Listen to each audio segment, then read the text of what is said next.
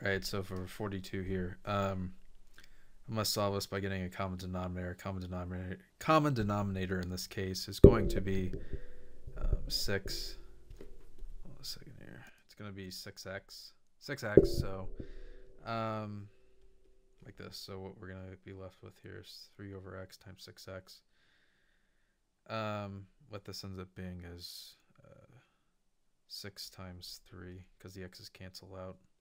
Know what, me just do this.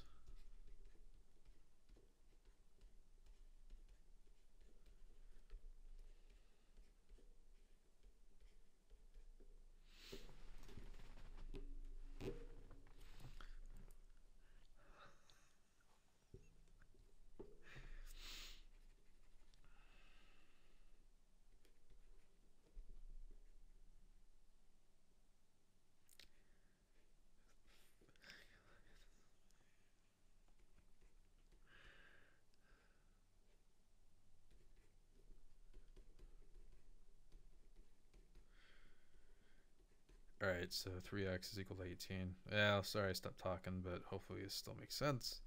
And x equals 6. So we can test this. x equals 6. 3 over 6. I'm plugging in 6 for x everywhere. 1 over 3 equals 1 over 6.